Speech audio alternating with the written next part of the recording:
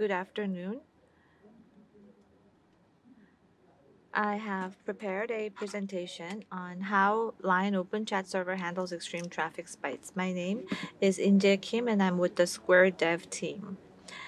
Let me first uh, talk about what I will be uh, dealing with in my presentation. There is a famous singer who has millions of followers, and for the concert of this uh, singer, the fans have uh, joined in an open chat. So thousands of users join the open chat and send and receive many messages. So the traffic surge, surges more than 100 times in one open chat. So the over open server open chat server team calls these chats hot chats. And I would like to share with you the actual patterns of the hot chats, some of the problems that occurred, and how these problems were solved. So this is the agenda. First, I'm going to introduce to you Line Open Chat, and then I'll talk about how Line Open Chat server handles traffic spikes on HotChat, and then I'll talk about future plans. Let me first introduce to you the Open Chat in Line. Open Chat in Line is, can be found on the right hand corner uh, on the top of Chat tab, and you can get recommendations or you can search for open chats. You can join the open chats to send and receive messages, images, and message reactions real time. At, in the open chat server, about one, 10 billion uh, requests a day and one and um, 10 million requests a minute um, of the API requests. And um, from thousands to tens of thousands of users can join. And for instance, if 5,000 users in the open chat are active and sends and receives in, uh, messages at the same time, what will happen? Some of the open chat experience that we had was the fans of a famous singer who has uh, millions of followers and um, there are open chats where people watch TV shows together and talk about their favorite actors or models. In these open chats, the traffic can surge for by more than 100 times. If you look at the right hand side, this is an open chat where 5,000 people have joined, and in a single second, million, uh, one, millions of chats can be sent, and the API requests are maximum 200,000 per minute. So it is a 100 times surge compared to general open chats. So these are called hot chats.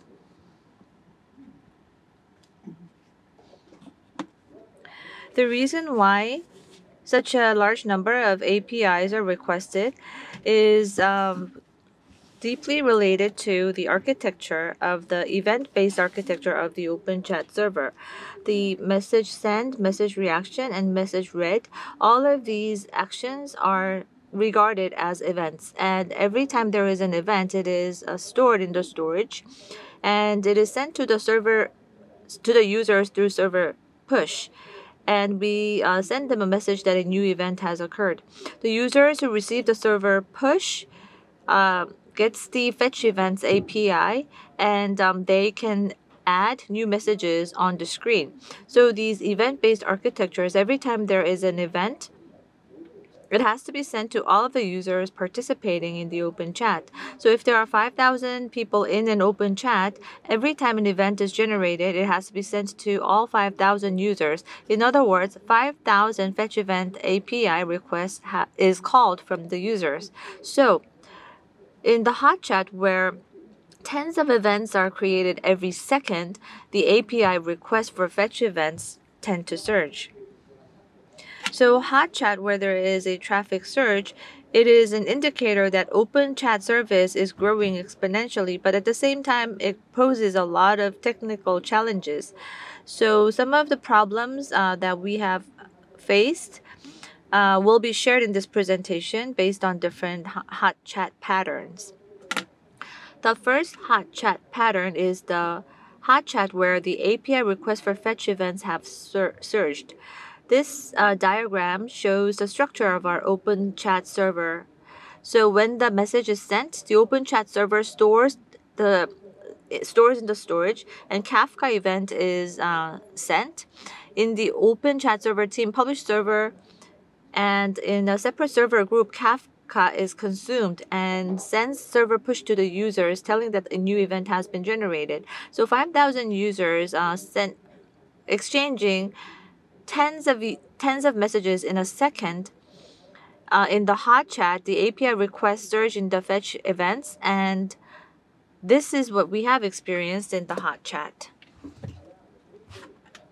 So these are the relevant metrics. If you look at the left-hand side, due to the surge of fetch event API requests, MySQL and Redis uh, has increased by more than three times uh, in the shard request and there has been a very um, there has been response timeout issues as well and in Kafka, uh, in a certain partition, a large volume of event was generated to increase the offset lag, or the GC of the server group or the CPU use has also soared.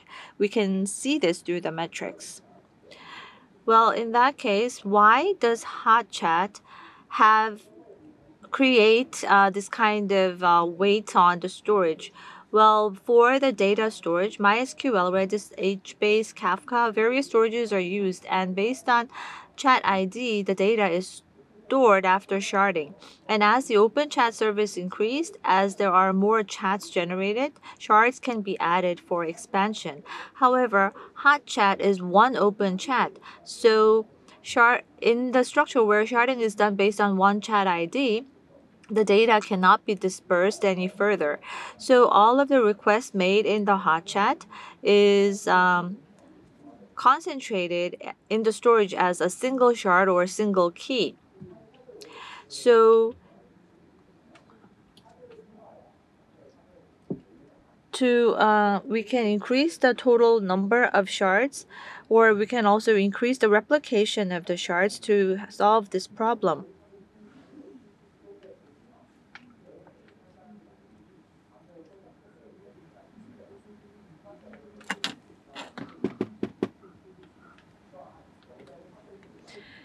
Is uh, less than 0.1% and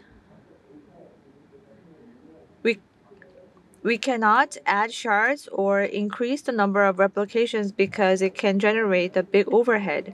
So the Open Chat Server team was focusing on identifying a way to target only the hot chats if we can identify the hot chats real time and if we can reduce the fetch event API request, we were able to reduce the weight put on the shard uh, for, due to the hot chat. And so if we can identify the hot chats real time, uh, that is called the hot chat detection and throttling throttling and I'll talk about uh, the way it works in the later slide. So uh, we need to first detect uh, the hot chats and we need to identify what methods to use for detection. We have used Kafka and Bucket. So every time there is a request for fetch event API, we send to uh, send the um, event to Kafka and publish server consumes it and in a single chat uh, we can see how many API requests have been made and if the number of API requests uh, exceeds the threshold, then we detect this as hot chat and we store this as hot chat in the Redis.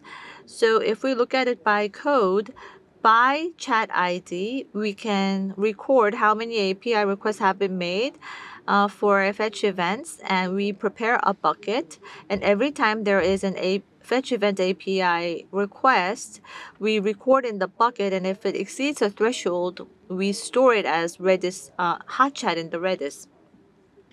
Before sending uh, the event generation message to, uh, in the server push, we first confirm whether this is hotchat in the Redis, and if it is hotchat, then we do not uh, throttle this. And control it so that it does not make fetch event requests. And we could target um, the hot chats. So in the past, when there were no hot chat throttling, like you see on the left hand side, if there are tens of events created in a single second, we were able to send 5,000 server pushes and um, 5,000 fetch event API requests have been called. But after adopting a hot chat throttling, we were able to control the number of server push just for the hot chats. And so even if there are tens of events per second, the generated events could be received every second only with the server push. So uh, there were no user impact and the hot chat fetch event API requests uh, were reduced. So the server push throttling, we can decide uh, the set the time intervals and the level in which this will be uh, applied and whether we are going to apply throttling or not. It uh, is done by using the central dogma, which is the open source of Line. And so without uh, restarting the server, we were able to uh, realize this and so as you can see here, the requests have been concentrated in a single shard and the slow query and the response timeout um, sometimes occurs. So as we have applied the hot chat detection and throttling, we were able to automatically detect the hot chats. And so throttling is only applied to the hot chat. So response timeout issues were no longer found. And we could check real time uh, which one is hot chat and which one is not. So we can use this hot chat dashboard, which allowed the server team to monitor and respond in a, uh, prompt way. And now I have talked about how the hot chat uh, issues were dealt with using hot chat detection and throttling. Next, I would like to talk about the hot chats where the open chat participation requests have soared. In the line open chat, uh, people can search for open chats or also join through recommendations. They can also use uh, the QR code or link sharing. So until 2021, there weren't many cases where a single uh, open chat in had um lot of open chats joining join requests, but uh, since 2022, there have been many cases where uh, people concentrated in a single open chat because influencers use the QR code um, to upload on their social media. So uh, the open chat service had grown and the open chat was uh, used widely among social media users in the open chat server, when there's a join request, the chat member data is stored in MySQL.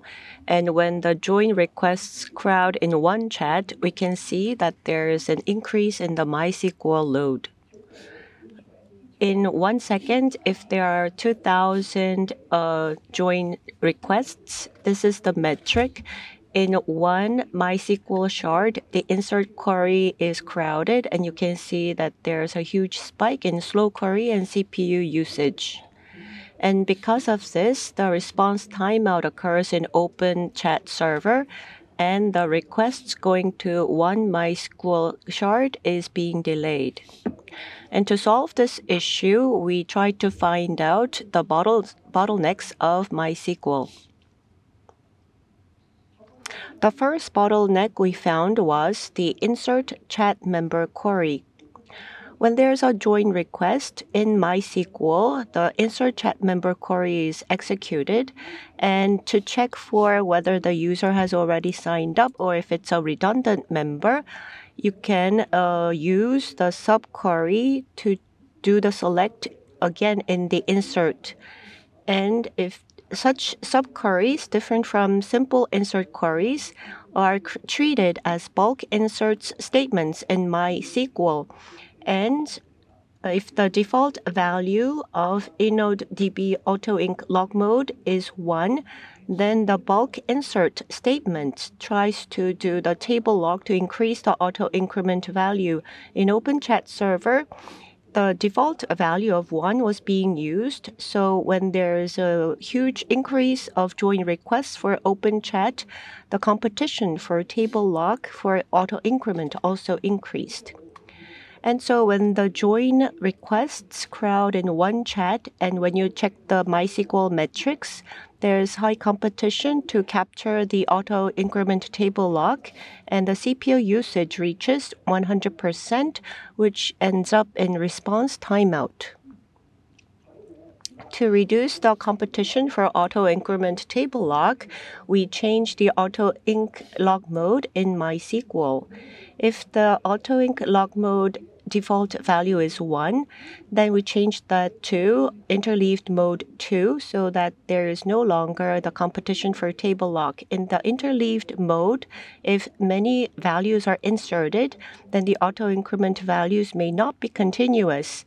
In the insert chat member query, only one member inserts, and if the auto increment value is not uh, continuous because of because there is no logic assuming the continuity, then it makes the judgment that it's it's okay to change. So in MySQL, if there are several thousands of join requests in one open chat in a second, the CPU usage was maintained at 10 to 20% and was able to handle the requests. And there is the get chat, get chat member count query, which also created a bottleneck.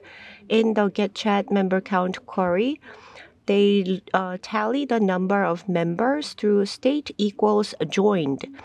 In the past, we did not have crowding for open chat join, and so we used the MySQL query cache to tally the open chat members. But now we're getting 2,000 and above join requests for open chat. And so when the MySQL query cache processes one uh, join request, then the new member value is uh, renewed and captures the table lock, recalculates the number of members, and renews the query cache. This creates a huge load. When there's a join request spike, because of the renewal of the query cache, we see that there's higher competition for table lock, and you can see that on the metrics. So we did uh, introduce the separate table to tally the number of participating members, and we eliminated the MySQL query cache to resolve the bottleneck.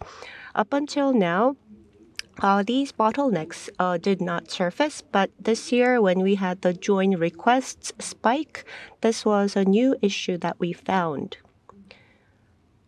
And when we're investigating the MySQL bottlenecks, we did see that the uh, open chat uh, join requests continued to increase. So we uh, applied a join throttling so that we could do the bottleneck investigation and at the same time make sure that the join requests did not exceed MySQL capacity. And similar to hot chat throttling, every time open chat uh, join request is completed, it is sent to the Kafka as an event, and in the public server, they uh, record how many requests are in the bucket, and if it exceeds MySQL uh, capacity, then the pop-up message says, uh, "Please make the request later." So, so, we are now in the process of uh, resolving the bottleneck. So instead of disabling MySQL, we thought that it would be better to reduce the impact on the other chats through uh, hot chat throttling. And the lesson we learned from join throttling is there could be a several second delay in join throttling that is using Kafka. After the join request is complete, the join event is to be delivered to public server through Kafka, but it has to go through a lot of storage, including Redis, MySQL, and Kafka. And because of Kafka, uh, because of Hotchat, the Kafka will experience uh, offset lag in some partitions, and this can lead to several second delay. And if there's a delay in front of the public server, then there will be that much delay in join throttling. And if there are thousands of join requests in one chat, then how many, uh, then what impact will the join throttling delay have? That much time delayed uh, will mean that the request will not be throttled and will spill over to MySQL. And the join requests that spilled over to MySQL will create more load on MySQL, increase latency, and delay join throttling even further. And as an actual example, there was a time when join throttling was working well and delayed for several seconds, but during that split window, thousands of join requests crowded in a second, and all these requests spilled over to MySQL, created a load, delayed join throttling, and all the join requests were allowed exceeded MySQL capacity and led to response timeout. To solve this, we used Redis instead of Kafka so that every time there's join request, we could tally uh, the number of requests per chat in Redis. Hot chat only accounts for 0.1%. It's a very rare chat, and it does not make sense overhead wise to uh, include all the logs in Redis uh, for the the other 99.9% the general chats. So we used local cache instead of Redis to limit the maximum number of join requests allowed per chat. And even if the one shard processing speed is slowed or is disabled because of hot chat, we wanted to isolate that and not have the other shards impacted. So we introduced circuit breaker and bulkhead. If there are many errors like response timeout, we could fail fast the requests, and that's the role of circuit breaker. And to prevent the thread pool from being monopolized by all the requests in one shard, we introduced the bulkhead so that we could isolate the load on one shard and not have the other shards be impacted.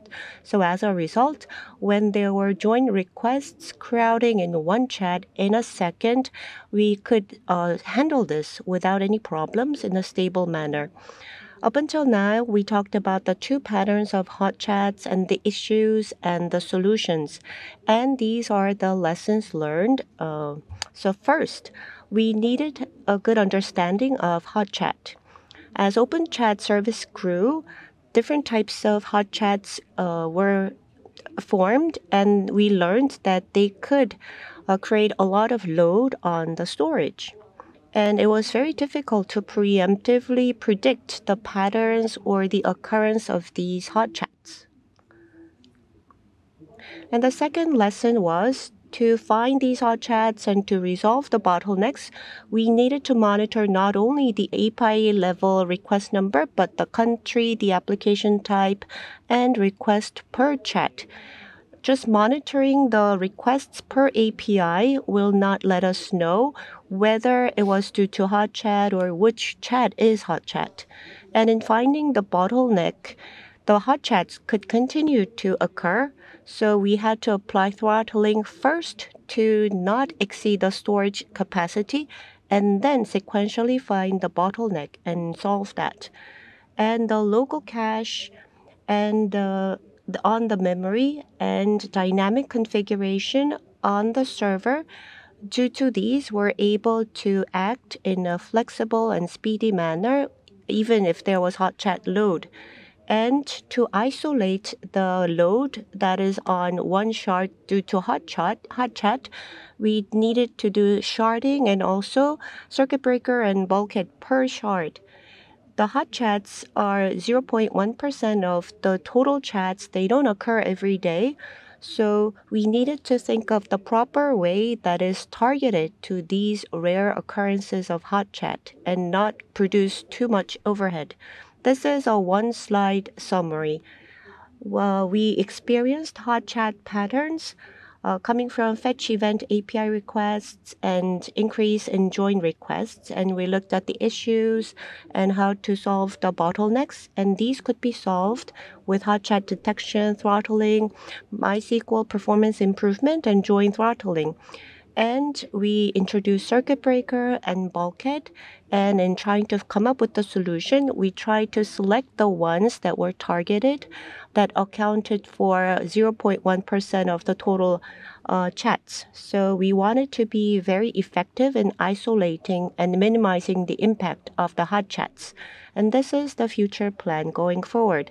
When there's a hot chat, we need to move the hot chat data uh, storage to a separate storage, or we could find ways to distribute the hot chat load.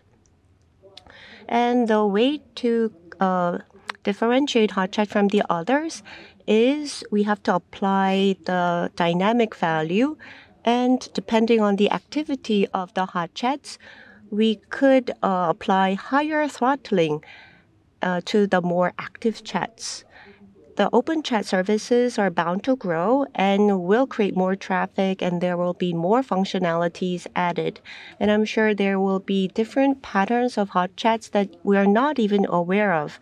We need to be flexible and so we are going to continue to improve the architecture of open chat server. So we will uh, go ahead with reliable open chat server that can support the service growth. Thank you very much.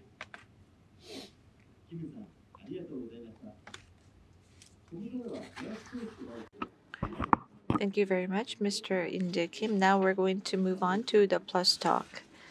We are going to receive questions.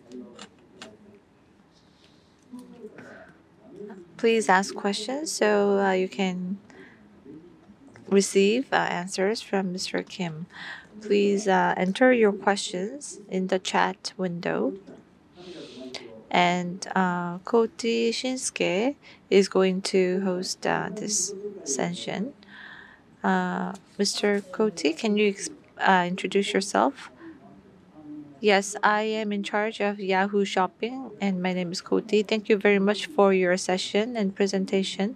As I am in charge of shopping, uh, we are facing a lot of difficulties due to uh, increase in traffic. So I would like to ask you lots of questions if time allows. Thank you very much. So, uh, Koti, what was your uh, biggest question uh, for Mr. Kim? Well, I also use Open Chat and I join an open chat where there are about 4,000, 5,000 people. So I think uh, we are uh, one of the hot chats as well. And I was very uh, moved to learn that you have a lot of uh, solutions. And um, the part where you found out you identified the bottlenecks was very impressive. Uh, how were you able to find the bottlenecks? And uh, what approach led you to identify bottlenecks? Well, hot chats, uh, it's very difficult to expect where hot chats will occur. So every time there is a hot chat, we have identified the patterns and mechanism, and we have shared uh, with the DBA for each storage, and the DBAs checked the bottlenecks. They've conducted benchmark tests, and um, they have actually uh, verified these bottlenecks. So that is how we went about. Thank you very much. At Yahoo Shopping, if there is a sale, um, the traffic surges. So we, the fact that you cannot uh, prepare uh, for hot chats, I guess it's very difficult to anticipate where hot chats can occur. I think that is the biggest uh, point for hot chat. And so traffic. Uh, so when you uh, to have you conducted uh, some tests uh, to uh, for traffic so we have copied the the traffic we have also conducted benchmark tests to find the bottleneck points Oh, I see. So you have recreated the traffic to conduct a test. Okay. Thank you very much.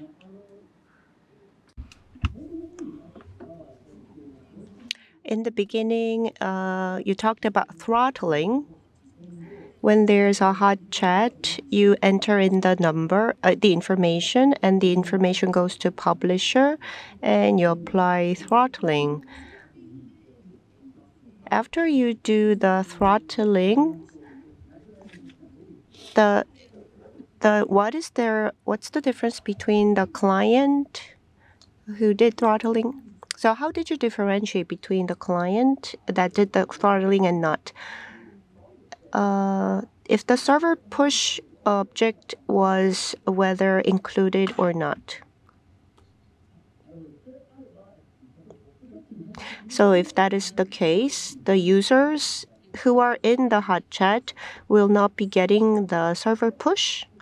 Yes, that is correct. All the open chat events occur per chat, so we look at the chat ID and we can identify.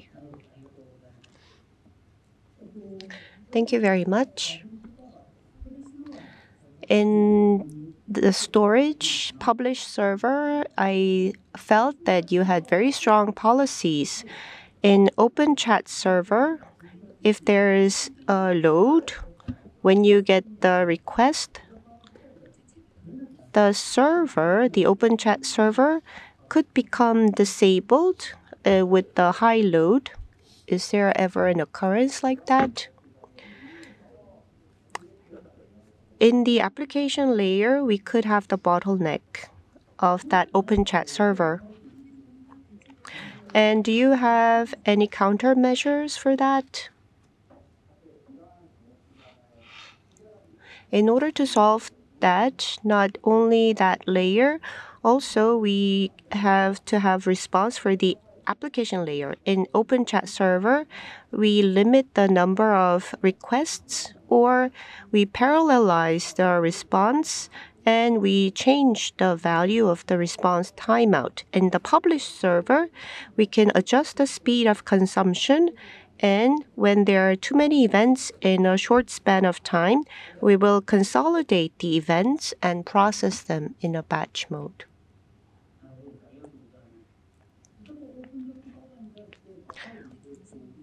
Thank you very much. If there is a high request for the server, then let's say there is a lot of hot chat requests, but for the overall open chat server, I guess the traffic issue is not that serious. The open chat service is growing, so the total traffic is growing, and the hot chat traffic is also growing as well.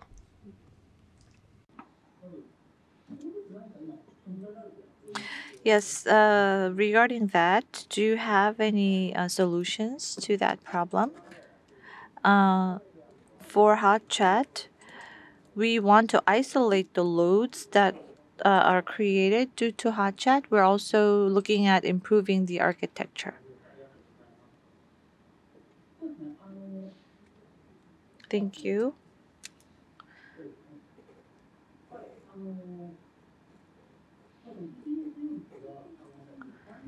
the CPU usage. Well, sorry, on I think it was page 33.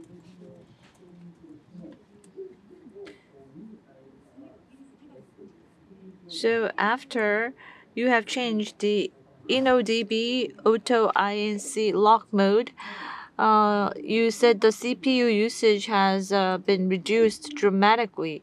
So on page 33, there was a surge uh, why did this surge occur? If you know anything about this, can you share? Well, the metric is a metric that was used for the benchmark test. When we increased the request, the cache in the MySQL was not uh, applied.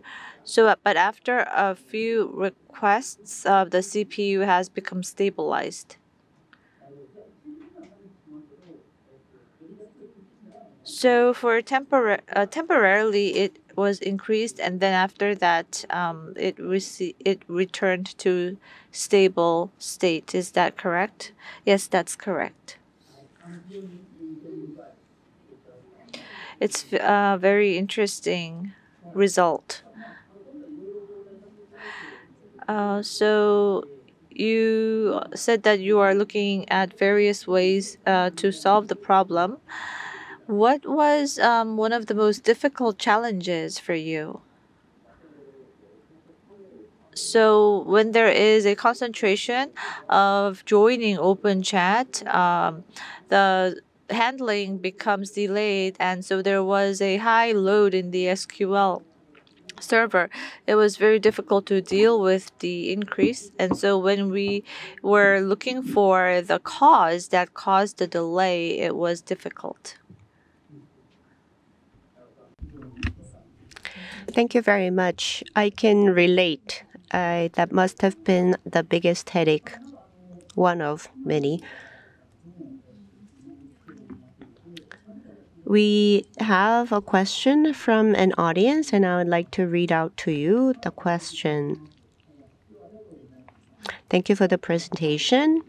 When there's hot chat within the open chat server, the storage and also the line server storage. Were there any impacts on the line server storage not within the open chat server? First of all, internally, we have the storage sharding by chat ID, so that had the highest load. But as for the external storage, we're not sharding by the chat ID. So relatively speaking, they could handle the load. Thank you very much. So you're sharding uh, per chat ID you're saying that the hot chat only accounts for 0.1%. So within sharding, you have you don't have competition for limited resources. Up until now, we did not have that scenario, but I think that could be possible going forward. So we are going to improve on that. Thank you. Thank you very much.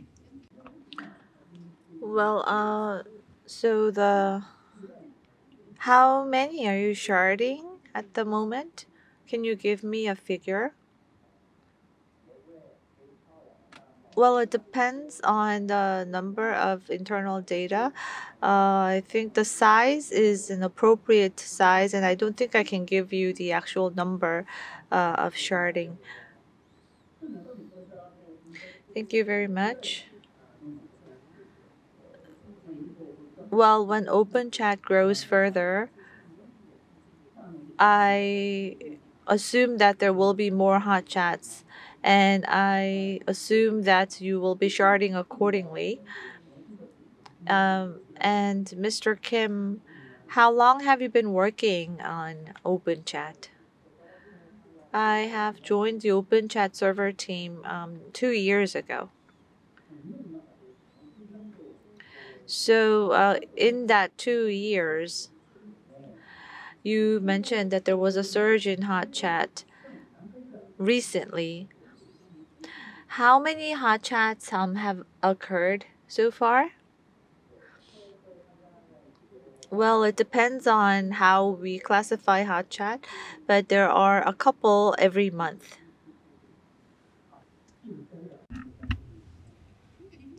So, so one a month, did you say? Uh, several a month. Could you repeat? I did not get the answer. Several hot chats per month. Thank you.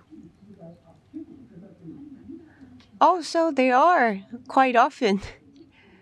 So you must have your measures become more effective the service will grow and I guess you will have more tasks and then I think we will have further discussions. Thank you for your precious time. This is all for my questions. Thank you, Mr. Kim.